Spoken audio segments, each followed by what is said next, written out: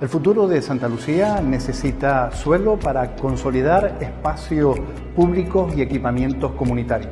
Por eso desde el ayuntamiento hemos comprado una parcela de 53.000 metros cuadrados en una posición estratégica en esta ciudad, entre la calle Colón y uno de los nudos de acceso a la autopista. Esta acción nos permitirá poner a disposición de otras administraciones suelos como para construir el tercer centro de salud que necesita este municipio. Un centro integrado de formación profesional para poder educar a los más jóvenes. Residencias de mayores donde atender a esta población. Y también, como no, un espacio para vivienda pública.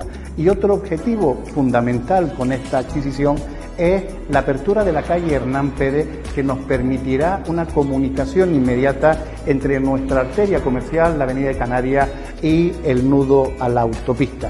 Ya las diferentes administraciones públicas tendrán el suelo necesario para seguir consolidando a Santa Lucía de Tirajana como la ciudad sur de la isla de Gran Canaria.